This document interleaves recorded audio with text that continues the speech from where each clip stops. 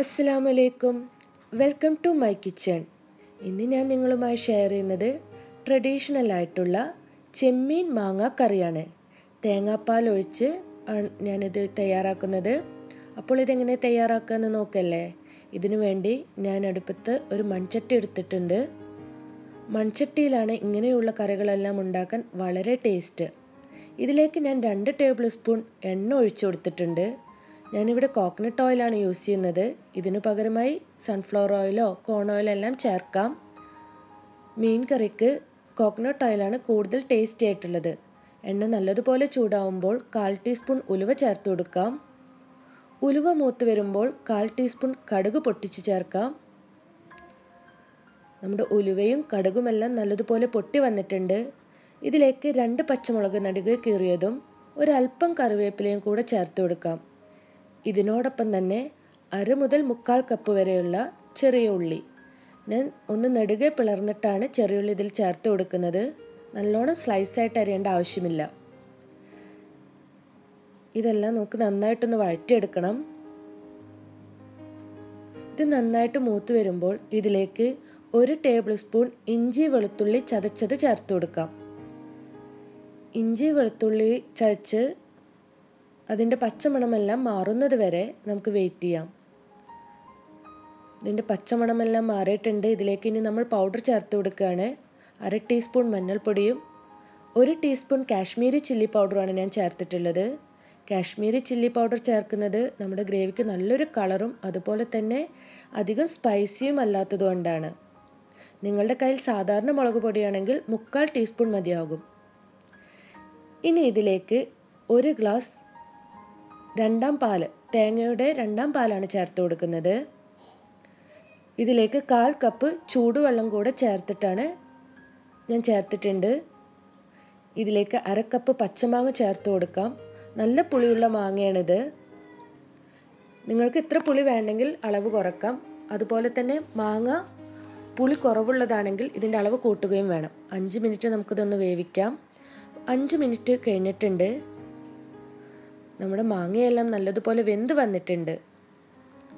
ഈ മാങ്ങയെ നമുക്ക് വേറൊരു പാത്രത്തിലേക്ക് മാറ്റി നന്നായിട്ടൊന്ന് ഉടച്ചു കൊടുക്കണം.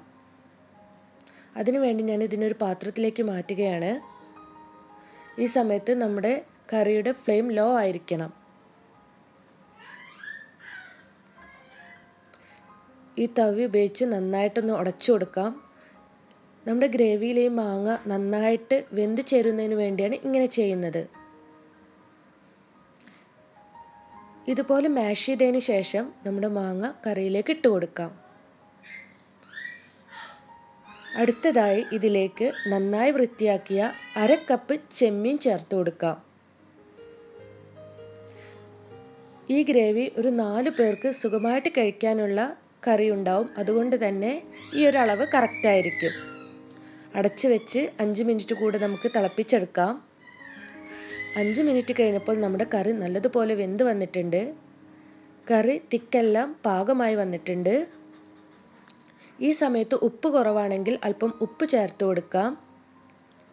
ഒരു രണ്ട് മിനിറ്റ് കൂടെ ഇങ്ങനെ തിളക്കുന്നതിനായിട്ട് നമുക്ക് വെയിറ്റ് ചെയ്യാം. ഇനി ഇതിലേക്ക് നമുക്ക് ഒന്നാം പാൽ ചേർത്ത് കൊടുക്കാം.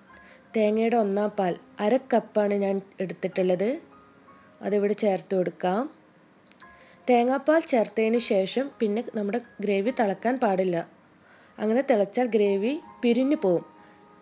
മൺചട്ടി ആയതുകൊണ്ട് തന്നെ ആ ചൂടിൽ കറി ഇങ്ങനെ തിളച്ചുകൊണ്ടിരിക്കും അപ്പോൾ നമുക്ക് ഇനി വേഗം ഫ്ലെയിം ഓഫ് ചെയ്യാം.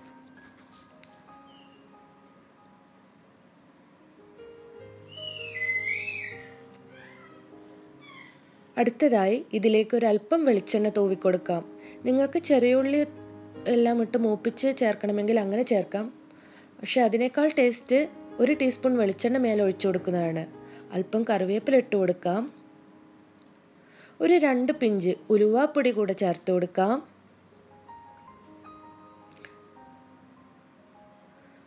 അതുപോലെ തന്നെ ഒരു രണ്ട് പിഞ്ച് ഞാൻ ഗരം മസാല കൂടെ ഇവിടെ ചേർത്ത് കൊടുക്കുന്നുണ്ട്. ഇത് നമ്മൾ കറിക്ക് നല്ലൊരു ഫ്ലേവർ തരുന്നതിന് വേണ്ടിയാണ് ഇങ്ങനെ ചെയ്യുന്നത്. ഗരം മസാല ഇഷ്ടമില്ലെങ്കിൽ നിങ്ങൾക്ക് സ്കിപ്പ് ചെയ്യാം. അങ്ങനെ വളരെ ടേസ്റ്റ് ആയിട്ടുള്ള ട്രഡീഷണലായ നമ്മുടെ ചെമ്മീൻ മാങ്ങാക്കറി ഇവിടെ തയ്യാറായിട്ടുണ്ട്. ഇത് റൈസിന് കൂടെ കഴിക്കാൻ പറ്റുന്ന നല്ലൊരു കറിയാണ്. ഇത് കുറച്ച് പുളിയുള്ള കറി ആയതുകൊണ്ട് ഇത് ഏറ്റവും കൂടുതൽ സ്യൂട്ടാവുന്നത് റൈസിനാണ് പുളി കുറവാണെങ്കിൽ നമുക്ക് ചപ്പാത്തിയുടെ കൂടെ എല്ലാം ഇത് കഴിക്കാം. അപ്പോൾ നിങ്ങൾക്ക് എന്റെ വീഡിയോ ഇഷ്ടമായെങ്കിൽ തീർച്ചയായും ലൈക്ക് ചെയ്യണം. ഷെയർ ചെയ്യണം ആൻഡ് സബ്സ്ക്രൈബ് ചെയ്യണം. Thanks for watching